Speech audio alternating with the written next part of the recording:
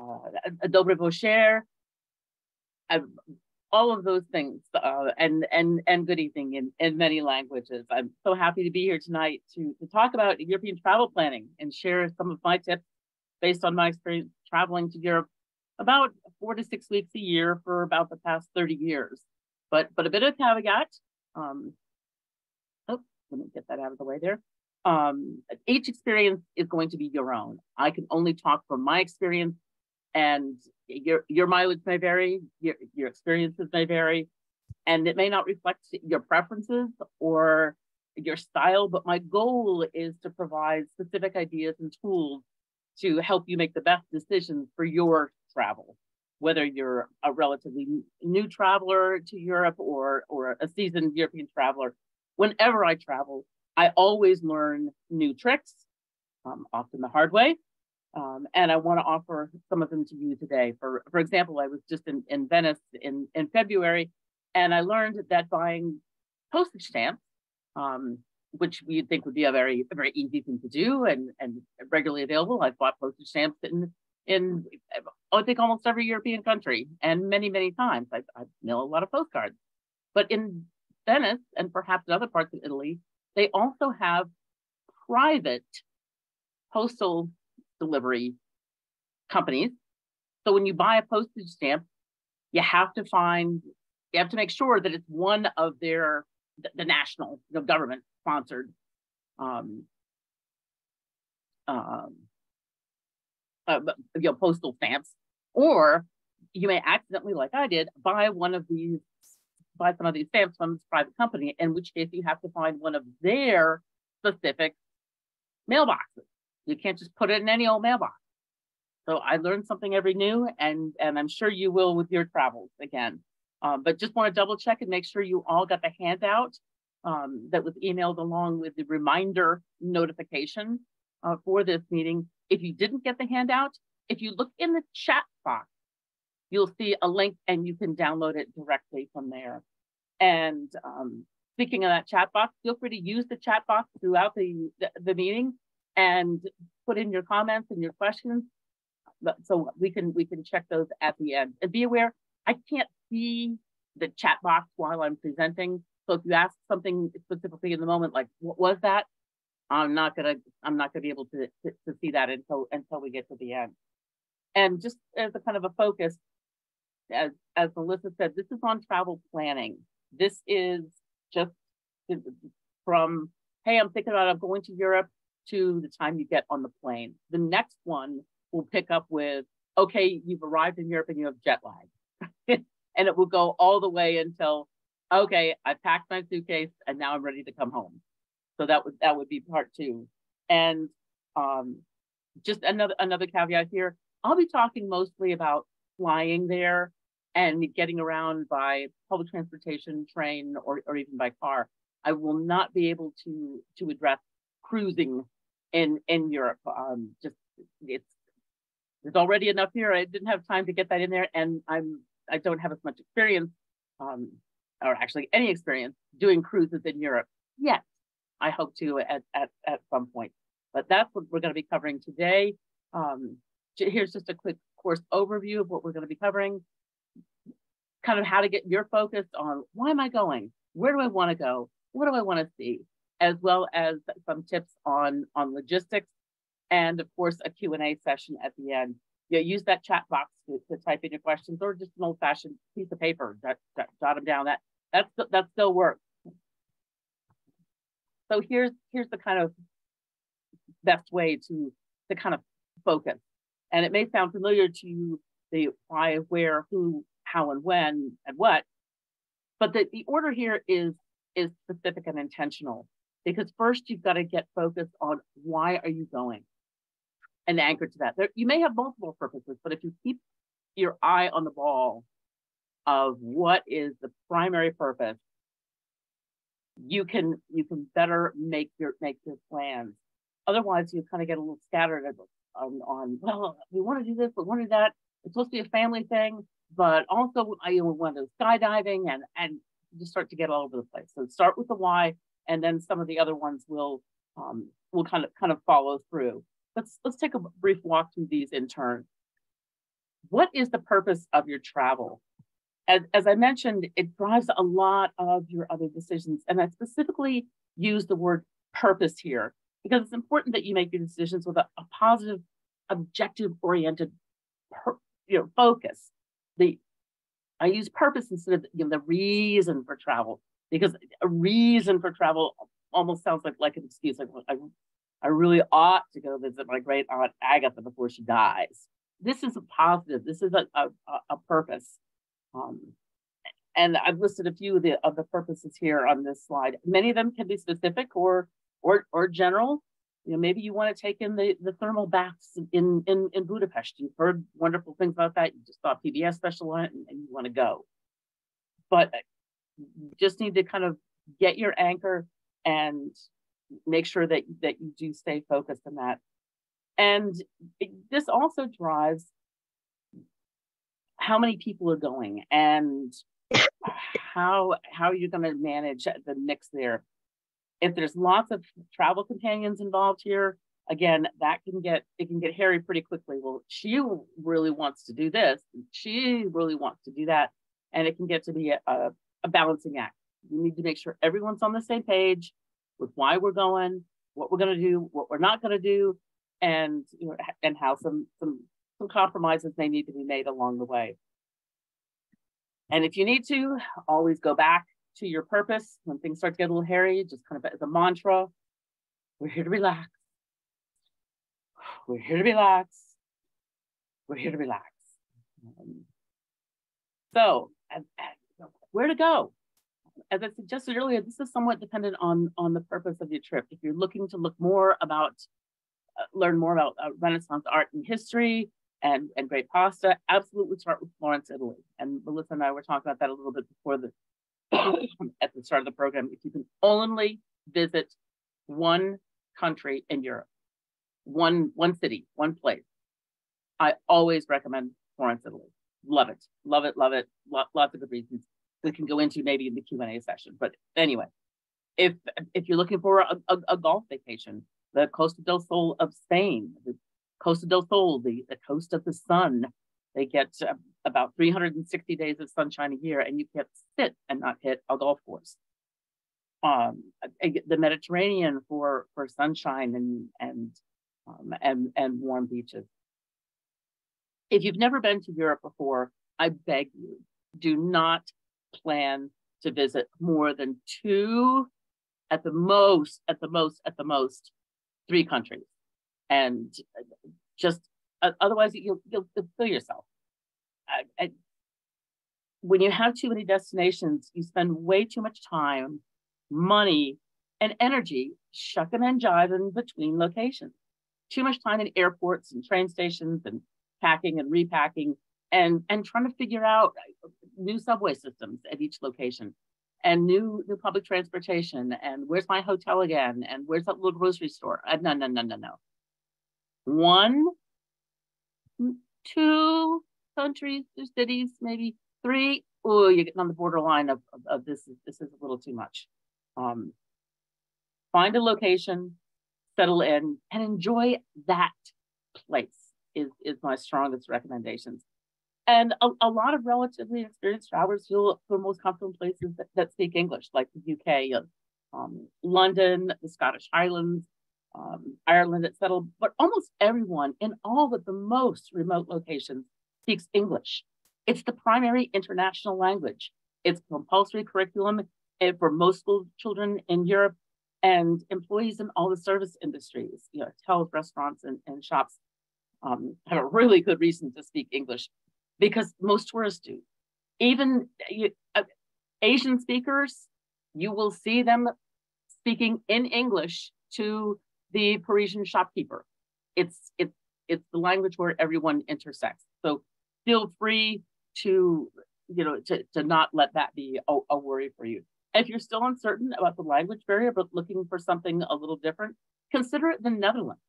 Um, I, Amsterdam, I, I, I love, and The Hague, the seat of, of international law, and and uh, and Haarlem are all fascinating locations, especially in, in spring right right now when the um, the tulip fields are in bloom. It's just it's just fantastic, and they all speak English.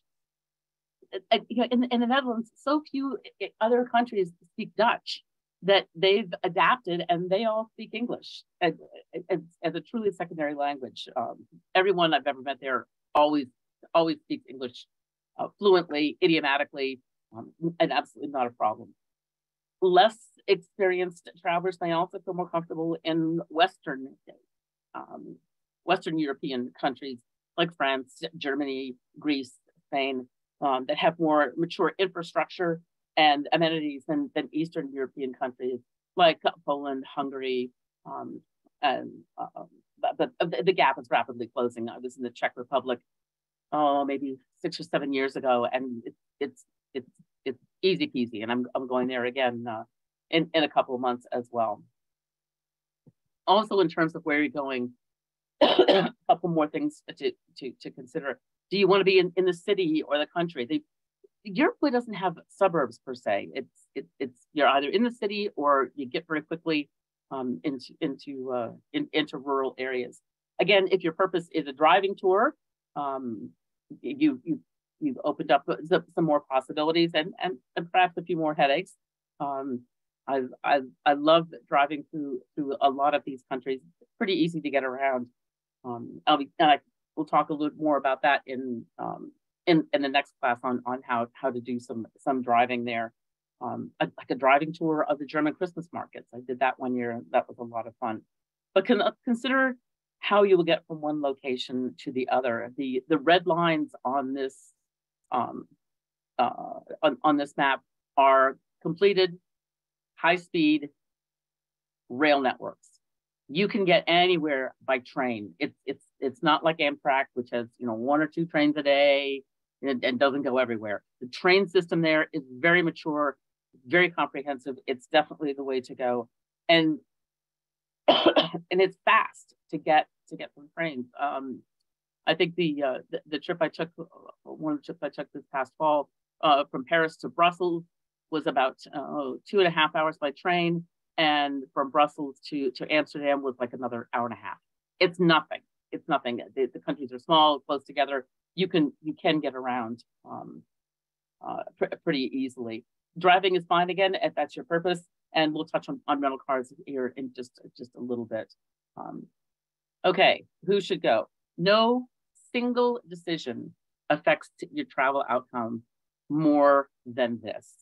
Um, even if you are with the right people, the most humdrum day, it can be can be magic. With the wrong people, the most exciting events can be miserable. Um, trust me, I've had both choose your travel companions wisely. Um, if you haven't traveled with certain people before and you just you get along fabulously with this this this friend and you think a, a European trip would be great, do a dry run. Try a three day trip to you know uh, Atlantic City, something, just to see if you're truly compatible. Um, wow, I've had great and and uh, and and poor experiences uh, for thinking about a, a, structured group or tour for less experienced travelers, you may want to travel with with you know a kind of you know comfortable pack of people. Um, there may be a single supplement if if you're traveling alone, but if you do decide to go by by group, I do recommend the the single supplement. There's too many variables without having to worry about someone who snores, uh, has has your personal hygiene habit, habits or or a, a, biological clock that's not in sync with yours. Um, you need your rest. You need to have quiet and repose, uh, particularly at night if you are going with a structured group or tour. So uh, this is not the time to break in a new travel companion. Um, if you can if you can swing it financially, go for the for the single um, the, the supplement. The the trade-offs for, for group travel are being prepared to make some sacrifices for what's usually a, a brisk pace and understandably a fixed itinerary and and and and fixed meals that may or may not be uh, to your taste. And you aren't necessarily in control of making decisions on where to go what to do and how to get there which can be a blessing because you don't have to think about those things. And leaving those decisions to someone else could be can be very freeing. I I personally don't don't travel this way because I've I'm an experienced and comfortable traveler, but for a lot of folks, it is definitely the, the way to go. Um, family and multi-generational travel has some really special rewards. There's, there's no match for shared experiences traveling, but it does take a little bit of expectation management um, and careful planning and contingency planning that requires some travel experience and, and knowledge and a lot of flexibility on, on everyone's part, uh, which isn't always easy to do. There's, there's early risers and night owls and dietary preferences. Um, it, it could, and it increases geometrically with the number of people involved. One people, one person, two people, three, four, you know, once you get up in, into some large numbers, it can, it can be, uh, be, be, be tricky. That said, there is nothing like three generations uh, sharing sunrise and hot cocoa um, at mountaintop in the Alps. You just can't, you, you just can't put a price on that, MasterCard or, or no. Um, traveling solo is a great option. That's how I have been doing it, it for years. M most parts of most European cities and countryside are very safe. And if you exercise just some basic street smarts, nothing more than you would if you were going down to, to DC and plan carefully. This is this could be very rewarding. I that's like I said, that, that's the way I travel. Most cities are easy to navigate. People have been living in in cities for centuries over there, and um, anybody can give you directions. Like I said, they all speak English, um, and you're on your own timetable. You have your own agenda and are subject to, to only your, your own whims. So how to get there? So searching for flights can take a little bit of patience and clarity about your priorities. What's most important to you?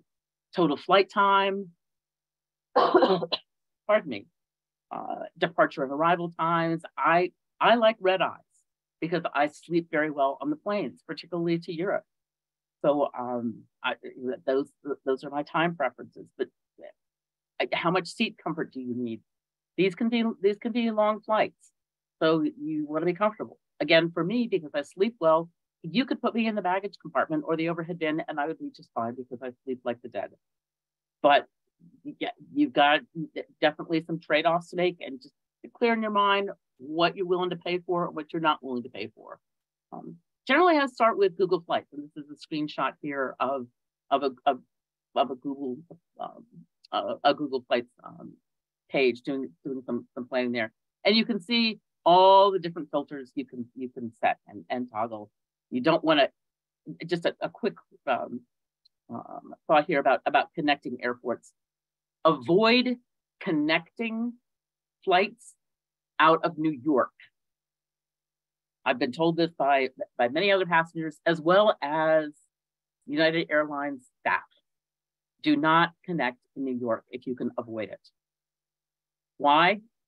The, the New York airspace is so congested with um, all, the major airports there, LaGuardia, Newark, JFK, Islip.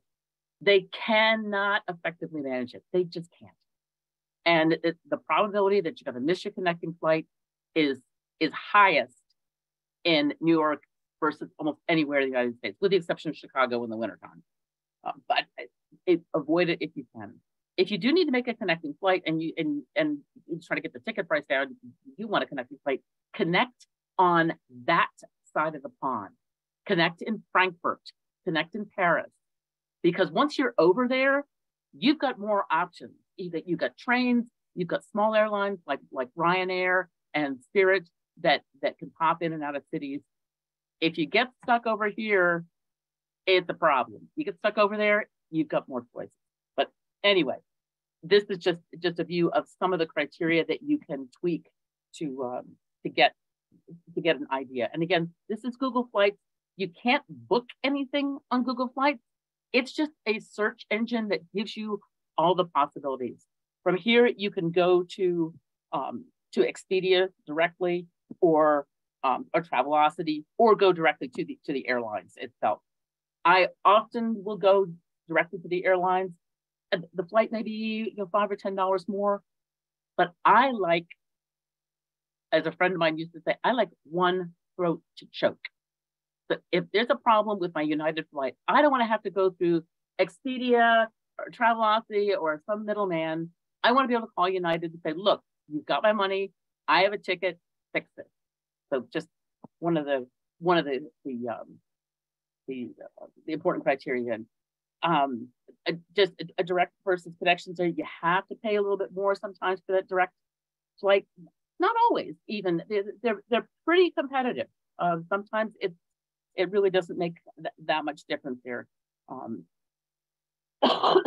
but missing a connection, having your luggage go somewhere and you're going somewhere else is is a problem and one of the worst ways to to start a vacation. Uh, but but sometimes you don't have good options, and um, and you do have to connect. But like I said, try to connect on the other side of of uh, of of the uh, of the puddle. Uh, time of day. Um, what time of day do you like to travel? Flights do go all the time, but many flights to Europe, um, and the ones I recommend are the are those red eyes, which which leave the, the DC area late in the afternoon. Um, here, here's here's an example of, uh, recently um, uh, that I, I just did. I did you know, just actually from New York to show you a good a, a good screenshot of what it looks like. Um, it just for the red eye flights, if you can, if you there's a, like a five or six hour time difference, and you've got five or six hours flight total between that, there's the opportunity to get, you know, eight hours of rest, kind of, and arrive. As this example shows, you you leave you leave New York at six thirty in the morning. You get, or excuse me, six thirty in the evening. You get to London at 6.25 in the morning and you may have had a, a decent time to, to, to, rest a little bit and catch a little bit of, of, of shut eye and you know, be able to land and, and get started on your day. If you leave here in the morning um, or midday, you've lost an entire travel day because you, you're going to get there late at night, at midnight, and be trying to you know, find your way to your hotel at midnight. You know, it's dark out. Good news is there's no traffic, but the bad news is your transportation options, the land transportation options, options may not be um, as as as as, as plentiful.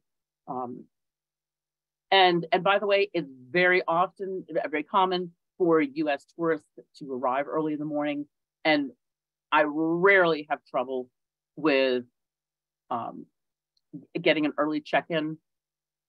Um, if, if, you email them ahead of time, or um, you can, almost, and, or even when you arrive there, they're used to people arriving. If they have a room, they'll put you in it. If they don't, they always have luggage lockers, or not lockers, but they always have a, a, a locked room where you can stow your luggage. Uh, and then you know just go about your day, go get a coffee or, or whatever. Um, another thing uh, you'll want to get down kind of ahead of time and plan is how you're going to get to your hotel from the airport. Usually, usually there's multiple options, um, subway, trams, uh, buses, and very helpful resources at, at the airports to help you. A, a wonderful tourist information gal in Edinburgh directed me to a tram um, right outside the airport door that took me within two blocks of my hotel. She, she know, I, I was kind of asking her, well, what's the best way to get into the city? I kind of thought this, I kind of thought that, but while I'm here getting some general tourist information, have you got any tips on how to get to the city? And she said, well, what hotel are you staying at, darling? And I said, well, this, this hotel is this address. She said, oh, the tram will drop you off within two blocks of your hotel. And it's right outside that door. So for about about six dollars US, I, I, I saved myself you know a, a you know 30 40 dollar cab fare and it was fast because trams don't get stuck in traffic. Um, they're very reliable. it was, pardon me, super fast, super easy. And there's always there's always cabs, which can be a decent value if there's two or more of you going. Uh, but even if it's a little pricey, depending on the time of day, if you're getting in late at night, as I mentioned, um, and you're not familiar with the locations, a cab can get you right to your door, which can be a comfort. Conversely, if you arrive early in the morning, traffic into the city can, can be murder. And you can end up spending a lot of money while you're just sitting in traffic when it wouldn't have been that hard to figure out how to get there on your own. Um, here's an example um, from of how to get from from, from Heathrow to to downtown uh, London. Um, it's 15 minutes. You can get there on the Heathrow Express.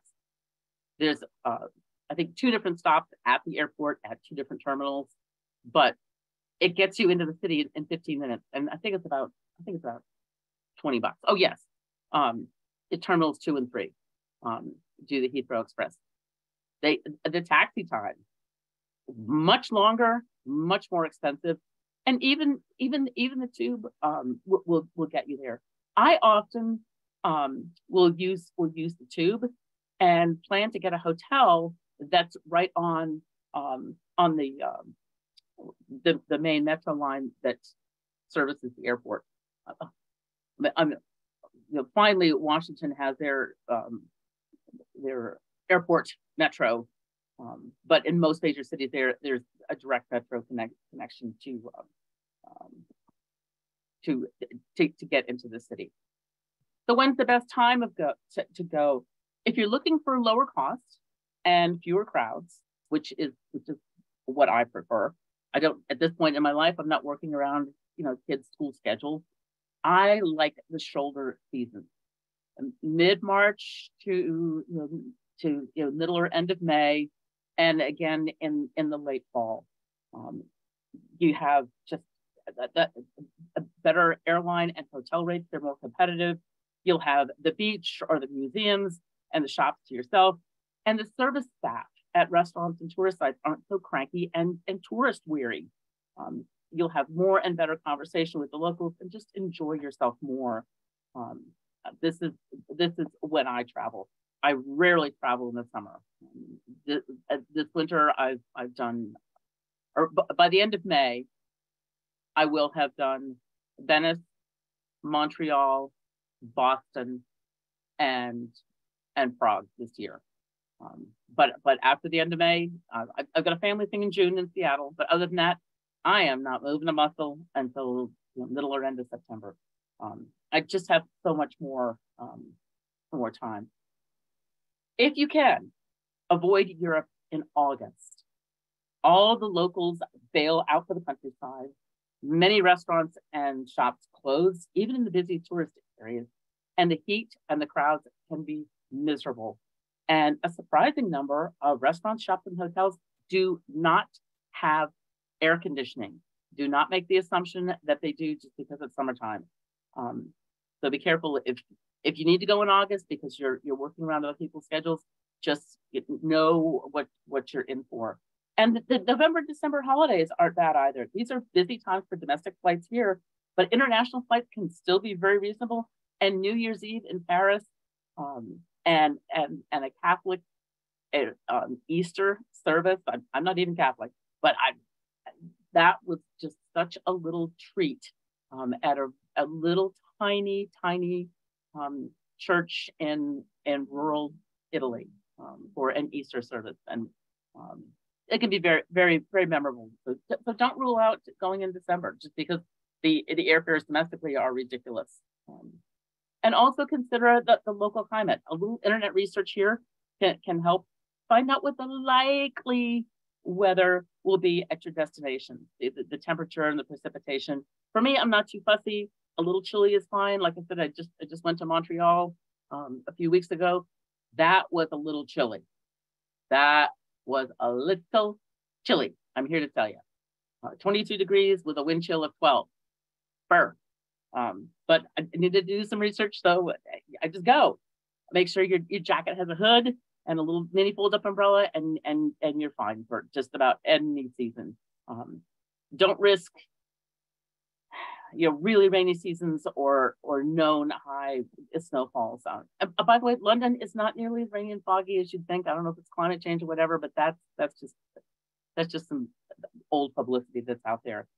And if you're going to do multiple destinations with different climates, your packing can get a little a little tricky. Um, always check a weather website the day or two before you go and look at the 10 day forecast because things can, can go a little wonky. Um, what to see and do before you go, You don't have to create a detailed itinerary, but you should think about the big and important things you want to do and make plans to ensure you get those high priority activities on the books. You don't want to wait until the last minute to do your most favorite thing because you never know what can happen. Things can be closed for, um, you know, for any number of reasons. A, a, a state visit, a, a, place I wanted to go to in Montreal a, a few weeks ago. It, it, was it was an important thing for me to do, and I kind of waited until the end because I had been there before, but I wanted to revisit it, and I waited too long, and just uh, they had a fire in the building next door, and it shut them down. Ah, so kind of just kind of get get kind of a list. Um, check online for, for any tickets or bookings for really popular sites that you really want to do. Uh, since the pandemic, many attractions still have gone online and require reservations for things like like like group tours of St. Peter's Cathedral, skip the line. Um, know, if you want to things like the Vienna Boys Choir, uh, the Honor Stallions in in Vienna, double check get those reservations online and get those get those kind of on, on your calendar. Um, you don't want to leave it to the last minute and and and and miss out. So now you've made some decisions on on the the who, what, when, where, and why. Let's look into some of the planning logistics and details. Um, make sure your passport has not expired.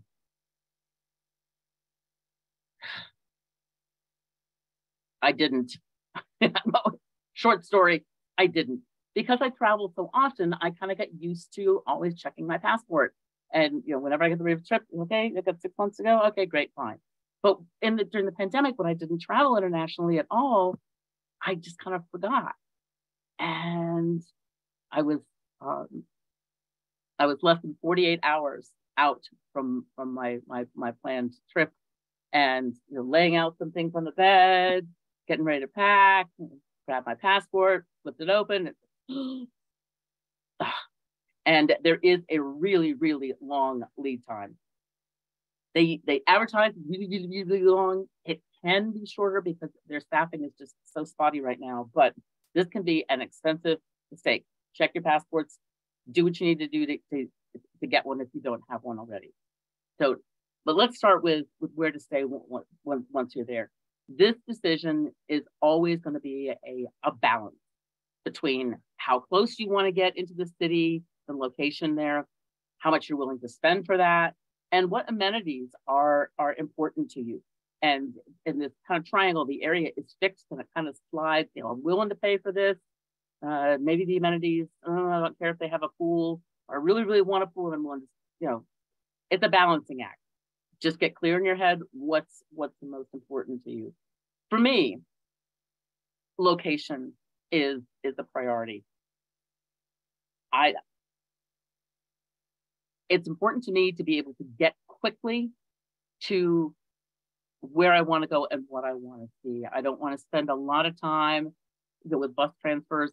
Like if, if you come to washington you don't you don't want to try to save some money by being at a hotel out in rockville when you know you want to spend time at the Smithsonian and the Botanical Gardens and tour the Capitol and go to the zoo, and you're in Rockville.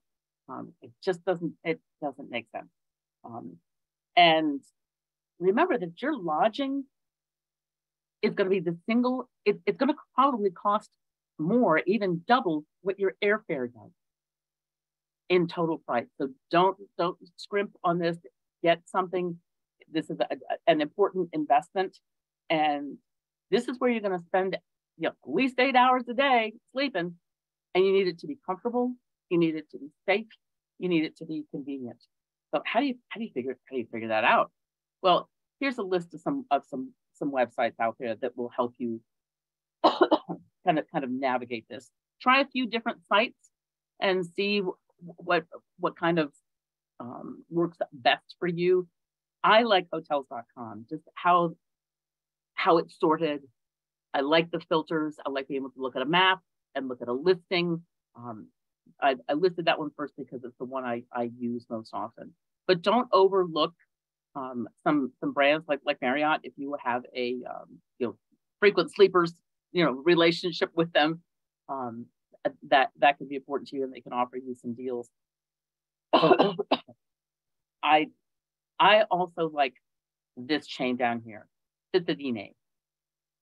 I they are um, they have some in the U.S. now, but they're primarily a European chain. I really really like them. I their service is excellent.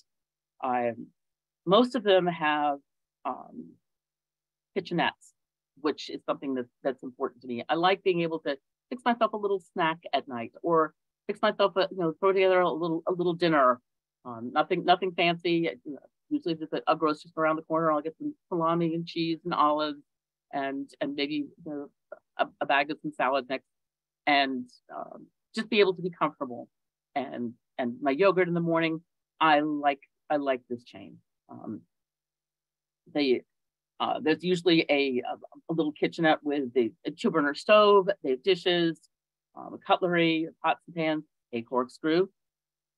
That's important to me. I've always packed one just in case they don't. Their service is excellent. Um, they're unfailingly helpful and, and resourceful. And, and like I said, they're in most major cities. I think there's about 16 of them in Paris alone. So just wanted to let you know about that, that particular one. Um, uh, as for amenities, the first decision you'll need to make is whether or not having a concierge, concierge and a front desk is, is, is important to you. Um, if you're unfamiliar with the city, you might find it comforting to have a front desk to assist you with restaurant recommendations, getting a cab for you, um, getting the heat to work, or getting you a recommendation for a physician or hospital if, if, if you need it. Um, if you're a more seasoned traveler to, or familiar with the city, perhaps these aren't as important to you and um, and it's something like like like Airbnb or um, or or Vrbo would would work for you as well. And I put some um, a good link in the handout to how to kind of uh, think about those trade-offs. Um, like I said, for me, I really like to start with with location. Where do you want to be? If it's a large city, you may do need to do a little research on where you want to be, um, what section of the city is is uh, appeals to you the most, the liveliest close to museums, more residential areas. Um, most tourist websites and guidebooks have pretty good descriptions of, of different neighborhoods. And remember, you don't always have to be in the most central location. For example, in DC, if, if, if you get a hotel near the White House, you think, oh, this is perfect, this is central. It, you're going to have a hard time finding a decent restaurant because that area makes most of its money on daytime foot traffic and rolls up the sidewalks at night. You'd probably want to stay at a hotel, you know, near the Georgetown or Capitol Hill or, or Adams Morgan. So do a little research on where kind of you want to be. And for today's, for today's purposes, I'm going to talk about, um, I'm going to use Paris as an example um, and um, about kind of, kind of where to stay. Um, for location, once you've got the right area, I always check for the closest public transportation stops. Um, if you're in a rural area, don't have a car, this is very important. You don't want to be schlepping your luggage all over hill and dale. And the public transportation, close walk to your hotel. Um, bonus points if you could find a hotel with, with, with multiple subway lines. And in Paris, sometimes I say I stay um, in the fourth arrondissement, um, very close to the action, just a few blocks up from the Place de Bastille. Uh, there's lots of different metro options here. You can see it with them circled. There's a Citadines hotel right here, but I can get to this subway line or that or that or that or that all all pretty easily. and as you can see from the map, this is on a major north-south artery. You can see this. Pardon me. Hmm. Um, you can you can you can tell they're, going to have good bus lines as well. Um, this is again a, a screenshot from uh, from hotels.com. You can see some of the criteria here. Guest ratings, I use this more than the stars. The star system is based on what amenities they have. For example, if they have a pool, that's an important amenity or a big one. So they may get four or five stars. If they don't have a pool, it can be the exact same hotel, or even a nicer one, but they may only get a three. So I don't use the star ratings as much. I use the guest ratings. That's more important to me. And again, what property type are, are you looking for?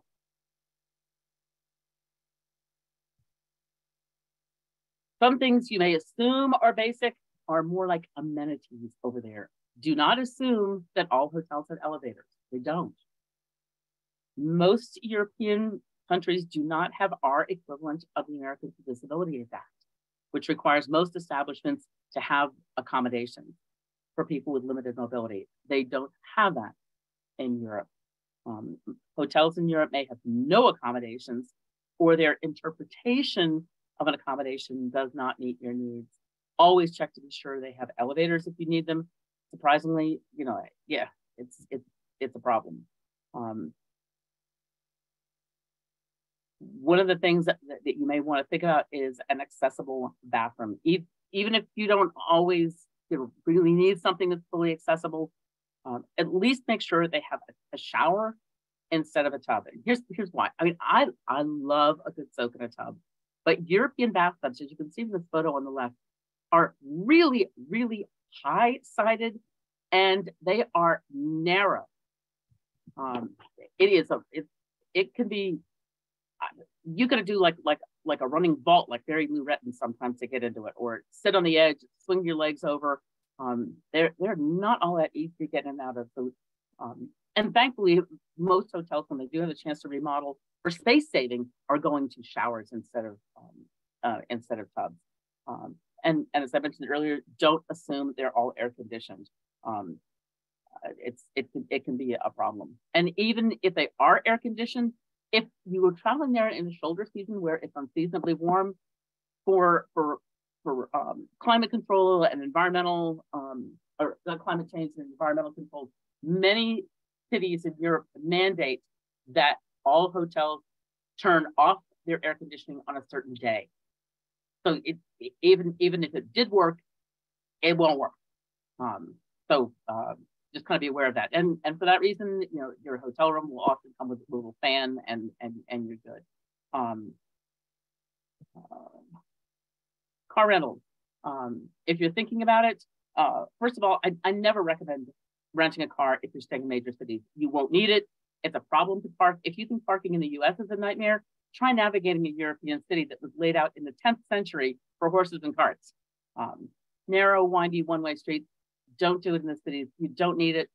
It's it's just going to be a nightmare.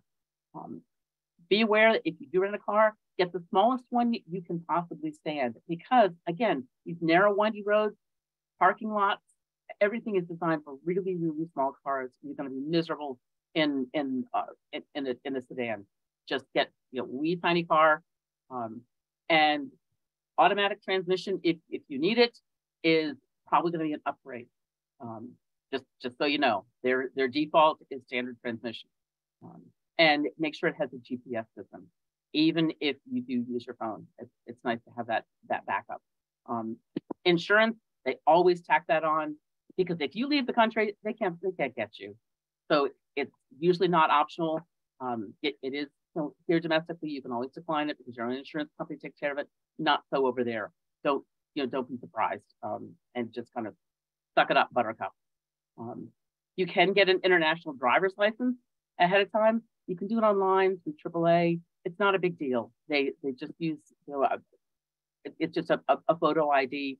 Um, and there's only one country, I think it might be either Hungary or Poland, that does not recommend, uh, not does not recognize U.S. driver's licenses. So do do be aware of, of some of those regulations. The rules of the road there a little bit different. Um, if you are considering renting a car, know that their um, their highway travel speeds are a little bit higher than ours, and they go fast.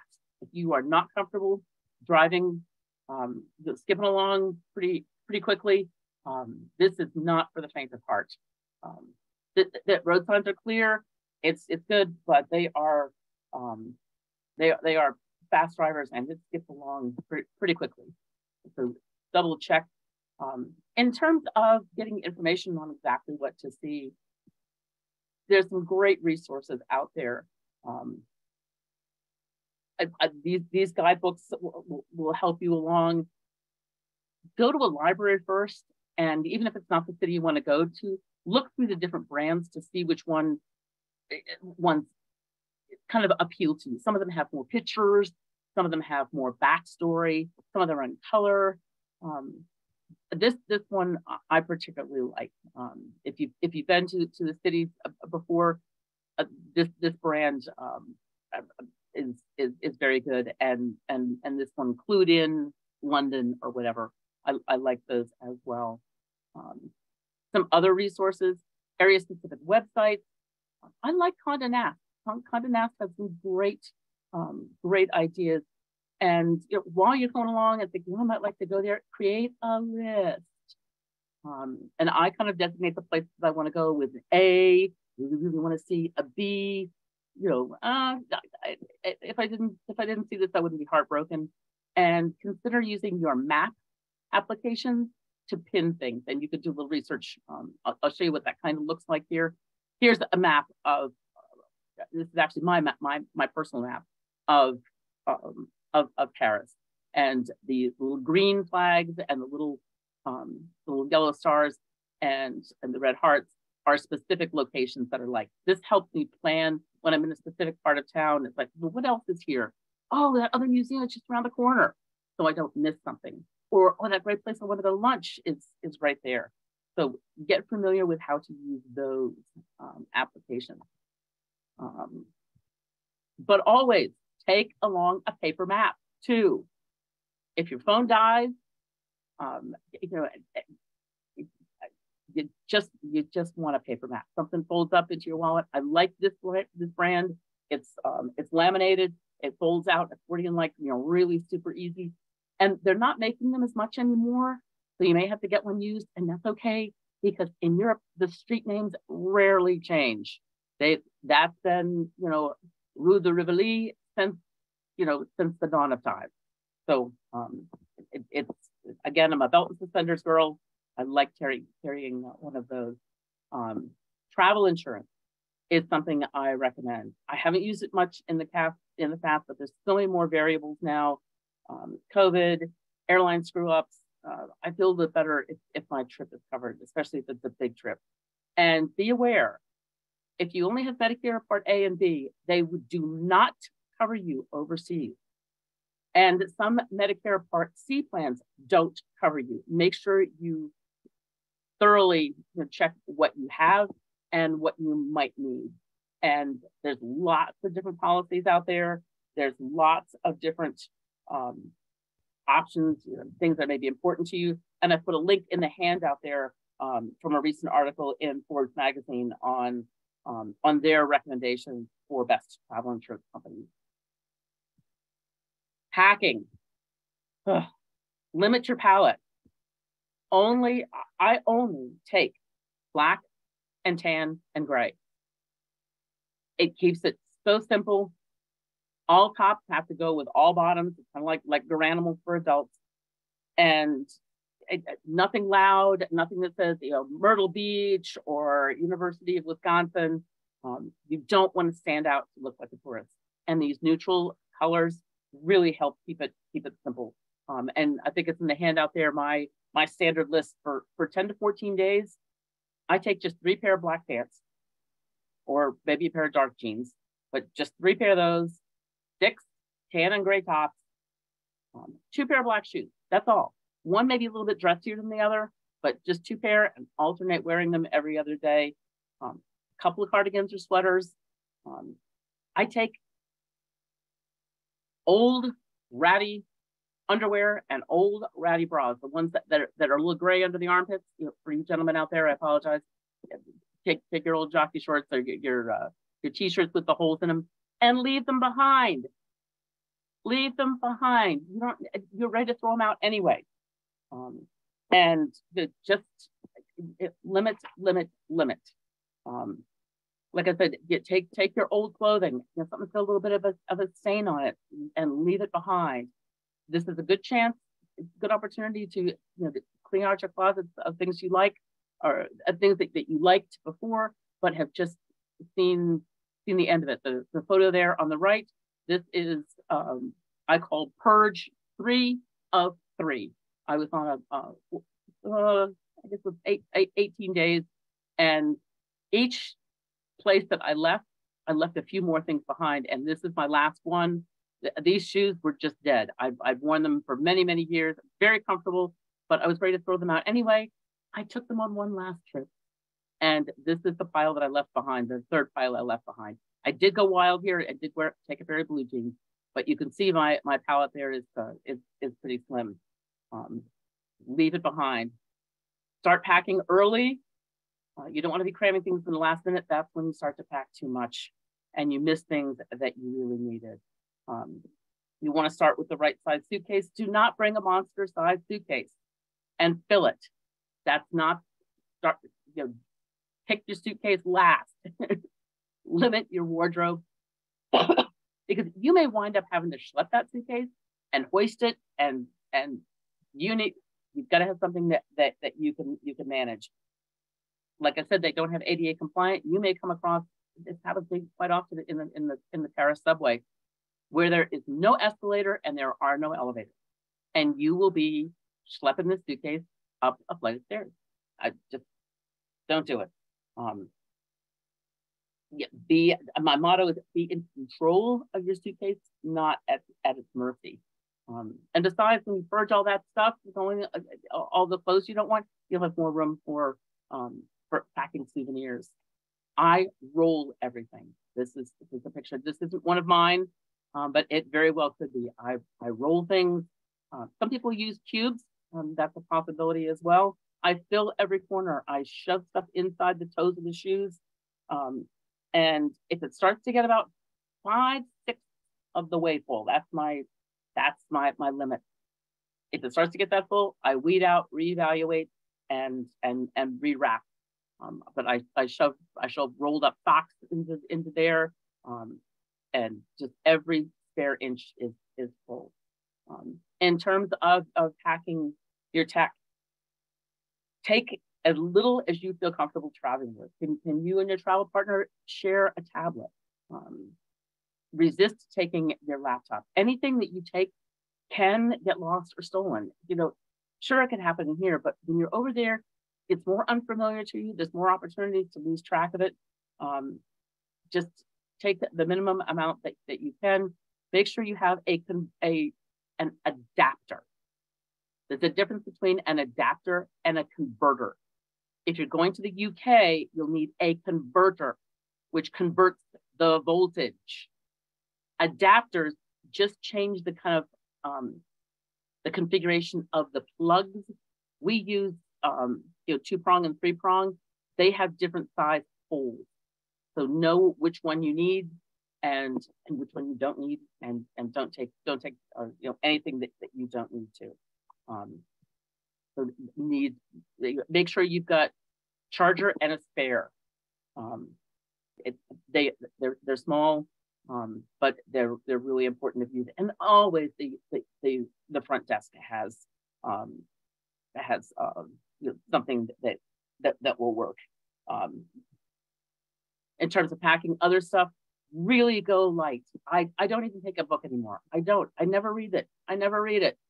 I take magazines and and rip them up, apart as I go. If I've read the first half of the magazine, I rip it apart, throw that out, so my load gets lighter every day.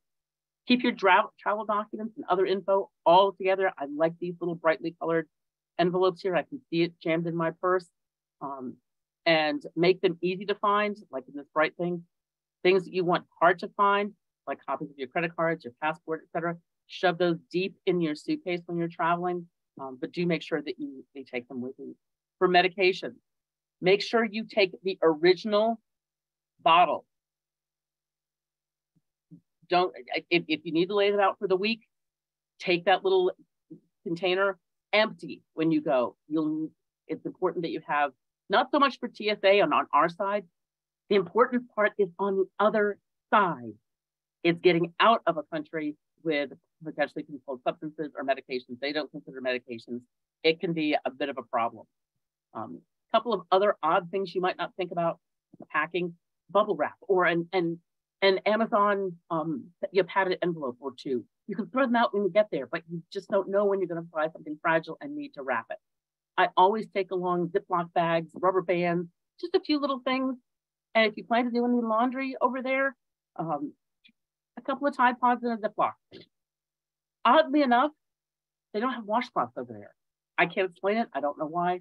Take a washcloth and a brightly colored one so you can see it, it won't get mixed up with the rest of the you know the, the white hotel laundry. Um, what not to take. Anything you think I might need that. You probably won't. And you can get it from the concierge. You're not going to a third world country. You can get it at the drugstore around the corner. Don't take anything you might need. Don't take anything expensive that you would ever be upset if you didn't see it again. Um, don't take anything heavy. Don't take any unnecessary electronics. Um, carry on. They're really getting getting you know pretty pretty tight on that. Um, in your carry on of personal items, again, if you miss connections, you're going to want a spare pair of underwear, socks, socks, and minimal toiletries.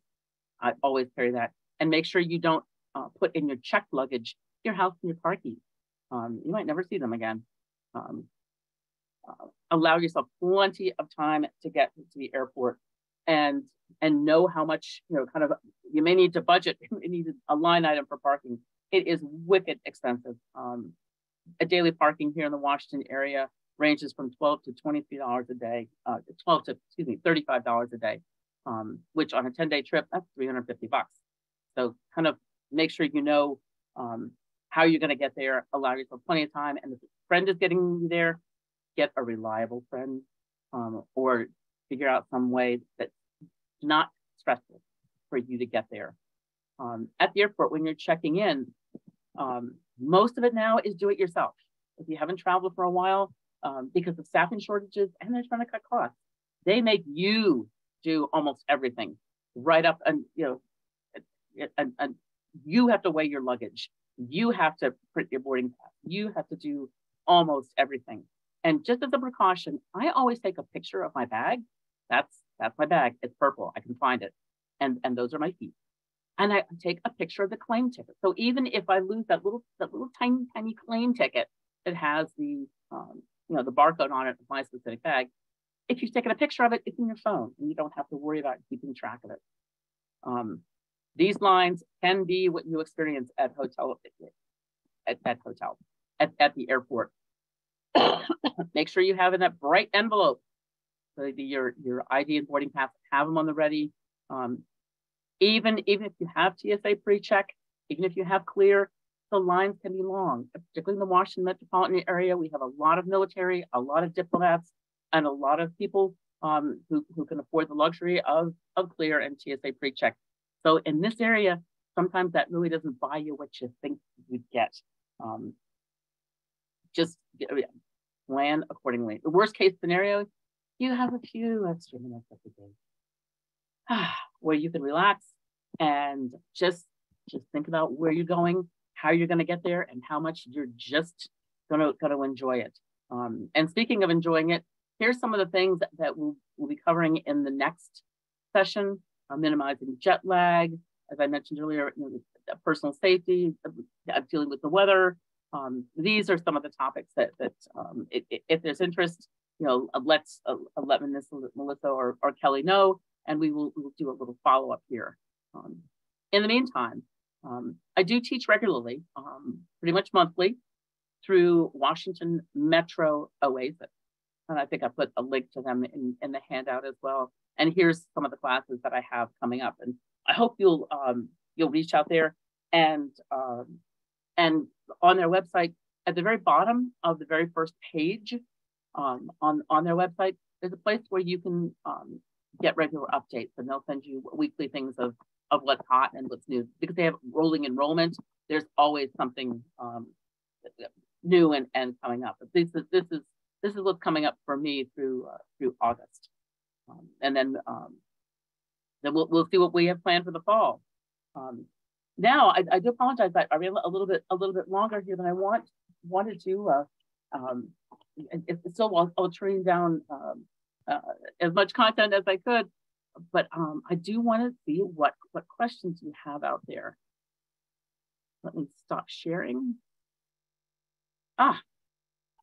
Thank you, Barbara. That is absolutely amazing information that I, I know that I needed to hear, but I think everybody enjoyed that. Um, I especially liked the packing. And, you know, we can use that um, it was staying within the United States also, because I Oh. think most of us tend to always overpack. I know that I do. And then I end up wearing the same comfortable outfits, you know, the same bottoms. uh, You know, you can get wear two or three or four days with Yes. different tops. So it's, yeah. So that was extremely helpful for me. Um, it's, it's, a, it's, a, it's a discipline and it's, it's a little hard to master, but um, after a few trips where, where I came home and as I'm unpacking my suitcase, it's like, oh, I didn't wear that. I didn't wear that. I didn't wear that. Between that and, and, you know, and, and the heft of that suitcase, I, I just, mm, I, I had to learn it over and over again. Yep, I think we all do. Are there other questions from anybody that's attending right now? Just you can unmute and uh, any questions you might have. Barbara, I think you did a really thorough, um, you know, oversight of how to plan, and it'll be nice to have you back to to get more specifics. Yeah. Um, Anybody have questions before we let Barbara go? Okay. Yeah. Um, if you didn't, if you didn't get the handout, um, it's, it's in the chat. We have a lot of thank yous, Barbara. Um, and just for any information, if you go to poolesvilleseniors.org, you can make sure you sign up to get our, our emails. Obviously, you all are all in here, so you must be getting them, but look for our upcoming events. Uh, we are definitely going to have Barbara back for the second part of this series. And we uh, thank all our sponsors that keep our programs going. We appreciate um, the, them helping us out, including our private don donators. So anything else before we let you all go? This a Okay. Great presentation. Yes, absolutely. Very Thanks, Barbara. informative. Uh, it's like I've learned a lot of these lessons the hard way, like like like like the packing and not needing it. And Yeah, Um, that's Oh, helpful. we- We appreciate you sharing um, all your hard, hard lessons that you've learned. So hopefully we don't have to go through them. oh, and and, and and one more lesson about the about the packing is if your luggage is overweight, the the fees are horrendous. Yeah, They are horrendous. So I almost always pack an empty flat duffel bag. Uh, It doesn't take up much space, but if I get to the airport and and I'm overweight, you wait one minute and, and I'll I'll stand there and reshuffle. I, I usually don't have to because now because I do tend to pack a little heavy, I have a little cheap um oh it's like like like ten dollar a little uh, hand scale. It, it it clips onto your um Oh, right, suitcase right. handle. Yep. And I I know immediately if if my luggage is um it is is overweight. But I after this much traveling, I kind of know when it's getting a little